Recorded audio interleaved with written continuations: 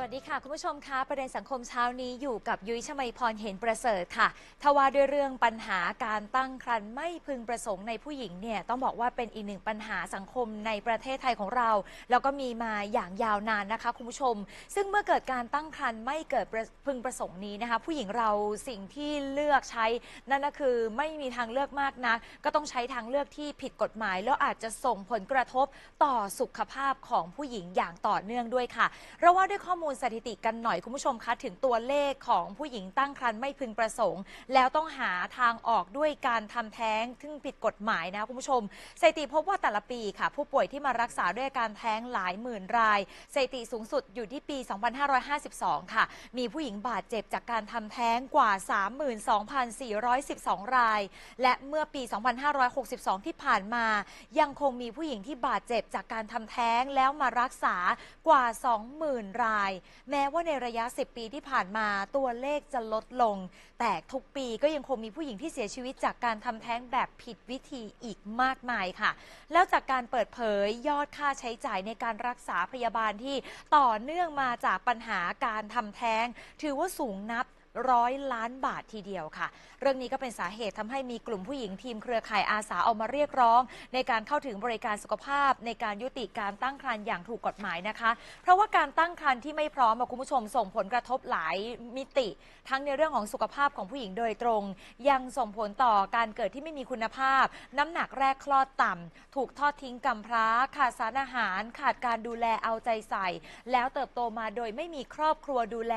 ซึ่งส่งผลกระทบอย่างต่อเนื่อง โดยเฉพาะภาพใหญ่ก็คือคุณภาพชีวิตต่อประชากรไทยนั่นเองค่ะ ซึ่งกว่า 10 ปีที่เครือข่ายสนับสนุนทางเลือกท้องไม่พร้อม ออกมาขับเคลื่อนในเรื่องนี้ เรื่องราวจะเป็นอย่างไรไปฟังจากอาจารย์ทัศนัยกันค่ะ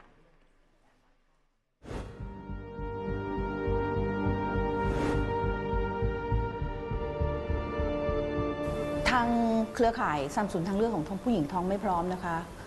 มองมาตลอดว่ากฎหมายเนี่ยเป็นอุปสรรค ในการทำให้ผู้หญิงเข้าถึงบริการ และเป็นอุปสรรคส่วนหนึ่งที่ทำให้แพทย์เนี่ย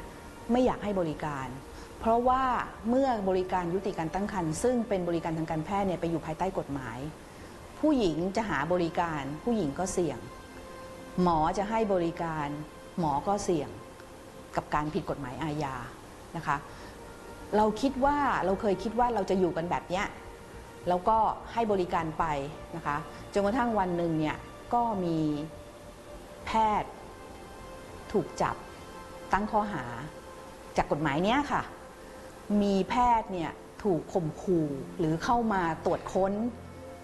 แบบมีหมายสารเข้ามาแล้วก็มาตรวจค้นอะไรแบบนี้ซึ่งอันนี้มันสร้างความหวาดกลัวให้กับคนที่ทำงานช่วยเหลือผู้หญิงเป็นอย่างยิ่ง แล้วก็สร้างความหวาดกลัวให้กับผู้หญิงที่ไม่อยากจะไปใช้บริการ ที่ถูกต้องนั้นเราก็เลยคิดว่ามันควรจะมีการแก้ไขนั้นเนี่ย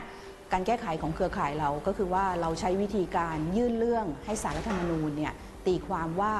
การที่บริการสุขภาพในเรื่องนี้มันไปอยู่ภายใต้กฎหมายอาญาเนี่ยมันขัดต่อรัฐธรรมนูญหรือไม่นะคะซึ่งเรายื่นเรื่องไปเมื่ออปี 2561 นะคะก็สารรัฐธรรมนูญก็รับเรื่องไว้นะคะ แล้วก็หลังจากนั้นเนี่ยใช้เวลาประมาณ 2 ปีนะคะกุมภาพันธ์ที่ผ่านมาเนี่ยศาลก็ตีความว่ามาตรา 301 เนี่ยซึ่งเอาผิดกับผู้หญิงคืออมองว่ามาตรา 301 เนี่ยขัดต่อรัฐธรรมนูญนะคะเนื่องจากไปไปขัดต่อสิทธิในเนื้อตัวร่างกายของผู้หญิงในเรื่องของการตัดสินใจ แล้วก็ส่วนมาตรา 305 ซึ่งว่าด้วยเรื่องว่าแพทย์สามารถทำแท้งในกรณีไหนบ้าง ก็อย่างที่บอก 2 กรณีไปนะคะ ก็น่าจะต้องมีการพัฒนา ให้มันเท่าทันกับสถานการณ์ ต้องบอกอย่างนี้นะคะว่าเรื่องของการที่ผู้หญิงส่วนส่วนใหญ่เนี่ยที่ต้องการยุติการตั้งครรภ์เนี่ยเขาผ่านประสบการณ์ที่ไม่ใช่หน้าอภิรมไม่ใช่ว่าอยู่ๆเขาอยากมีเซ็กแล้วเขาก็ไม่อยากมีเขาก็ไม่ไม่ไม่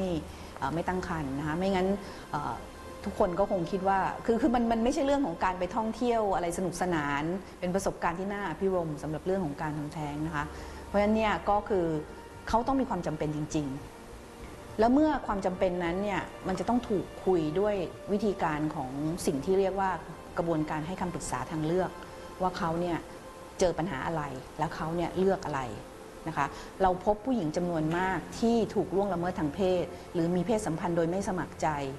หรือมีเพศสัมพันธ์แล้วไม่สามารถศึกษาต่อได้ หรือไม่สามารถทำงานได้ หรือเป็นเพศสัมพันธ์นอกสมรส หรือเป็นเพศสัมพันธ์ที่เขาไม่ได้ตั้งใจจะมีเขามีลูกอยู่แล้วจำนวนมากเขามีปัญหาทางเศรษฐกิจเขาไม่สามารถเลี้ยงลูกต่อไปได้เขาต้องการที่จะเว้นระยะการมีบุตร แล้วที่สำคัญก็คือว่านอกเหนือจากเหตุผลเหล่านี้เนี่ยเเราทำงานกับสายปรึกษาทางเลือกท้องไม่พร้อม 163 ด้วยเนี่ยเราพบว่ามากกว่าครึ่งหนึ่งนะคะ มาจากการคุมกำเนิดที่ล้มเหลวค่ะเพราะฉะนั้นเนี่ยไอ้ความไม่ความสิ่งต่างๆ เหล่านี้มันนำมาสู่ความไม่พร้อมของเขาเนี่ย ถ้าเขาจะต้องมีหน้าที่ในการดูแลชีวิตที่เกิดมาใหม่ เขาควรจะมีสิทธิ์ในการประเมินความพร้อมของตัวเองว่าเขาพร้อมที่จะดูแลชีวิตใหม่นั้น อย่างมีคุณภาพหรือเปล่านะคะ เหมือนอย่างคุณหมอไอเซท่านหนึ่งพูดว่าเลี้ยงลูกไม่ใช่เลี้ยงตุ๊กตา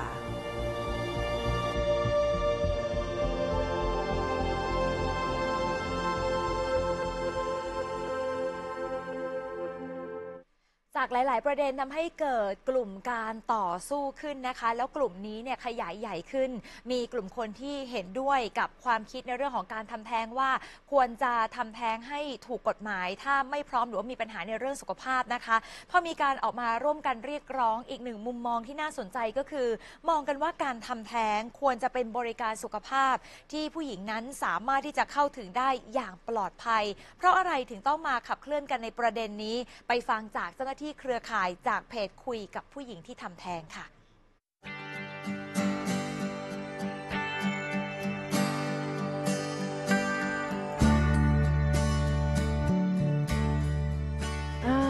องว่าตอนนี้เนี่ยสังคมเองก็ยังให้เรื่องผู้หญิงยังคงเป็นผู้หญิงที่เป็นแม่แต่ยักษ์เนาะหรือว่าเป็นอาชญากรที่ถูกถูกตามล่าอยู่คนเดียวอะค่ะเรามองว่าเราเหมือนฆาตกรเป็นคนที่แบบว่าใจคอโหดเหี้ยม จริง ๆ แล้วจริงๆเราอยากจะบอกสังคมว่าอันนี้มันคือสิทธิ์ แล้วมันควรที่เรามีสิทธิ์ที่จะตัดสินใจแล้วเราไม่ผิดอะค่ะส่วนเรื่องศีลธรรมบาปไหมมันมีแน่ๆผู้หญิงเเราอยู่ในสังคมศาสนาพุทธเนาะก็ต้องว่ากันง่ายๆคือไม่ใช่แค่ศาสนาพุทธนะคะทุกศาสนาอะไรแบบนี้ค่ะ คือมันก็มีเรื่องของศีลธรรมความเชื่อ เรื่องของอแต่ว่าจริงๆแล้วเราแยกกันเนาะว่า สิทธิ์ในการตัดสินใจด้วยความที่ไม่พร้อมกับศีลธรรม มันอาจจะต้องแยกกันนิดนึงอะค่ะว่ามันมันมันแยกกันอยู่นะอะไรแบบนี้ค่ะ เราพบว่าผู้หญิงอะเอ่อเข้าถึงบริการที่ไม่ปลอดภัยแล้วทำให้เสียชีวิต หรือว่าเคสที่เราเจอเราจะเจอในอายุครรภ์ผู้หญิงที่เยอะขึ้นมากกว่า 12 สัปดาห์ คือถามว่ากว่าเขาจะมาเจอเราอะค่ะเขาต้องเขาต้องผ่านหลายขั้นตอนมากผู้หญิงกว่าจะรู้ว่าตัวเอง ท้องกว่าจะตัดสินใจว่าฉันจะยุติการตั้งครรภ์แล้วนะ กว่าจะมาถึงบริการที่มันปลอดภัย มันก็มาที่อายุครรภ์ที่สูงสูงๆซึ่งมันก็ส่งผลกับชีวิตของเขาอะไรแบบนี้ไม่มีผู้หญิงคนไหนตั้งใจท้องเพื่อไปทำแท้งแน่ๆอยู่แล้ว ก็มีหลายครั้งนะคะที่ผู้หญิงเนี่ยเลือกเข้าถึงบริการทำแท้งที่ไม่ปลอดภัยนะคะแล้วก็มีการเอ่อเสียชีวิต เกิดขึ้นนะคะ ยกตัวอย่างเช่น กรณีน้องที่เร็วๆเนี้ยค่ะเมื่อเมื่อต้นปีเนาะปี 63 มีน้องนักศึกษาที่ใช้ยาเองอยู่ในหอพัก แล้วก็มีอาการตกเลือด ซึ่ง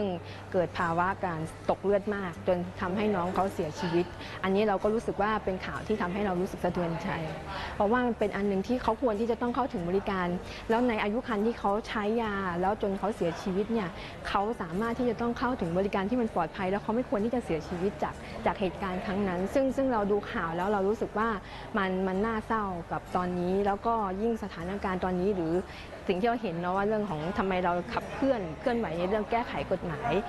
การทำแท้งอย่างเงี้ยค่ะเราไม่อยากเห็นผู้หญิงคนไหนต้องเสียชีวิต จากการทำแท้งแบบเข้าถึงบริการที่มันเถื่อน ทั้งๆที่ประเทศไทยมันมีบริการที่มันปลอดภัยอยู่แล้วอะไรแบบเนี้ยค่ะ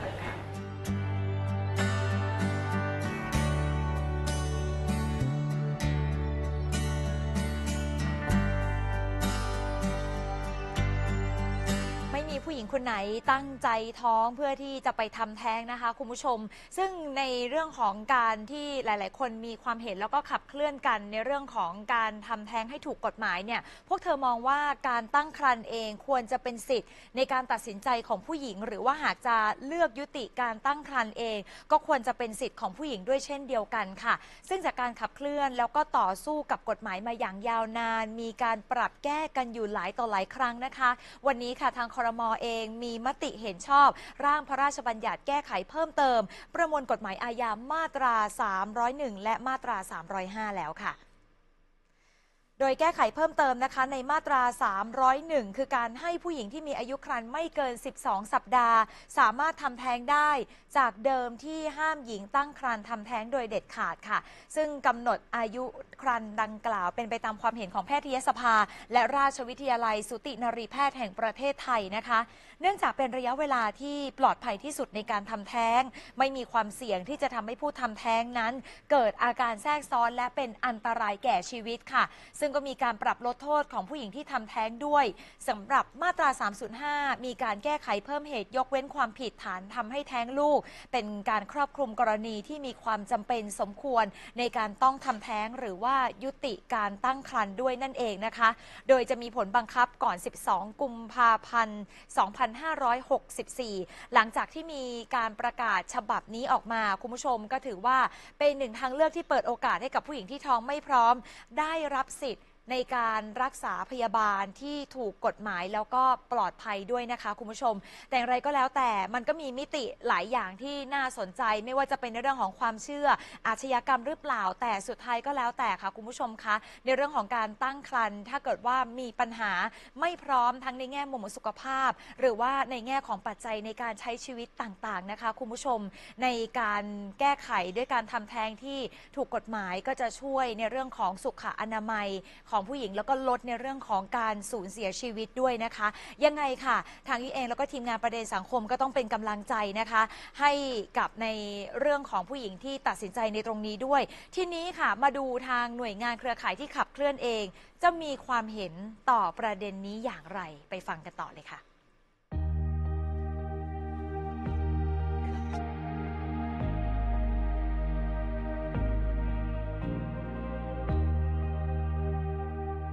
ในมาตรา 301 เนี่ยก็ถ้าเป็นกลุ่มของผู้หญิงที่เคยมีประสบการณ์ หรือมีคนใกล้ตัวมีประสบการณ์ในเรื่องนี้ หรือเข้าอกเข้าใจในเรื่องนี้เนี่ยเขาก็มองว่าควรจะให้ผู้หญิงเนี่ยปลอดภัยไว้ก่อนดีกว่า ในเมื่อมันเป็นบริการสุขภาพ ส่วนฝ่ายที่ไม่เห็นด้วยเนี่ยมักจะมองในทำนองที่มองในทำนองตำหนิอะค่ะความจริงเขาไม่ได้ตำหนิในเรื่องทำแท้งอย่างเดียวนะคะเขาตำหนิแม้กระทั่งว่า คุณเป็นวัยรุ่นคุณมีเพศสัมพันธ์ได้ยังไง มันเป็นมันไปตั้งแต่ต้นตอเลย เรามองว่าถ้าเป็นอดีตเนี่ยคนที่ไม่เห็นด้วยเนี่ยมีมาก แต่ตอนนี้เนี่ยพอเรื่องราวของผู้หญิงที่ยุติการตั้งครรภ์เนี่ยได้รับการเปิดเผยมากขึ้นเนี่ยเริ่มมีผู้หญิงเข้าใจ หรือเริ่มมีคนในสังคมเนี่ยเข้าใจเรื่องนี้มากขึ้นค่ะ ก็อยากจะฝากถึงผู้หญิง และผู้ชายที่ทำให้ผู้หญิงท้องด้วยนะคะ ว่าถ้าหากว่าประสบปัญหาท้องไม่พร้อมเนี่ยนะคะ อันอยากให้สังเกต คืออันดับแรกที่เราอยากให้อยากเห็นก็คือ อยากเห็นการป้องกัน แล้วเราอยากเห็นผู้ชายป้องกันการตั้งครรภ์ด้วยการใส่ถุงยางอนามัย เพราะมันสามารถป้องกันท้องและป้องกันโรคได้ด้วยนะคะ ถ้ารับผิดชอบตั้งแต่ผู้ชายเนี่ยมันจะไม่มีปัญหา แต่ถ้าเกิดปัญหาเกิดขึ้นแล้วนะคะ ก็หนึ่งเนี่ยให้สังเกตตัวเองเอาไว้ว่าถ้าเมนไม่มาเนี่ยก็ขอให้รีบ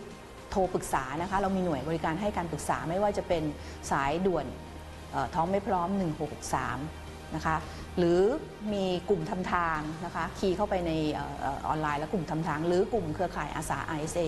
ก็จะให้คำปรึกษาออนไลน์ได้นะคะหรือตามคลินิกวัยรุ่นของโรงพยาบาลต่างๆนะคะก็จะสามารถให้คำปรึกษาได้เนี่ยให้สังเกตตัวเองให้เร็วที่สุดนะคะแต่สิ่งที่สำคัญก็คือว่าอยากให้ผู้หญิงที่ตั้งครรภ์ไม่พร้อมทุกคนตระหนักว่ามันเป็นสิทธิ์ของคุณนะคะ ถ้าคุณจะตัดสินใจวิถีชีวิตของคุณยังไง เพราะว่าไม่ว่าอะไรจะเกิดขึ้นคุณเป็นคนรับผิดชอบชีวิตของตัวเอง เพราะฉะนั้นเนี่ยให้ไตร่ตรองกับชีวิตของตัวเองให้ดีที่สุด แล้วคุณมีสิทธิ์ที่จะตัดสินใจค่ะ แล้วตัดสินใจให้เร็วที่สุดนะคะ มากกว่า 12 สัปดาห์จะทำให้คุณปลอดภัยค่ะ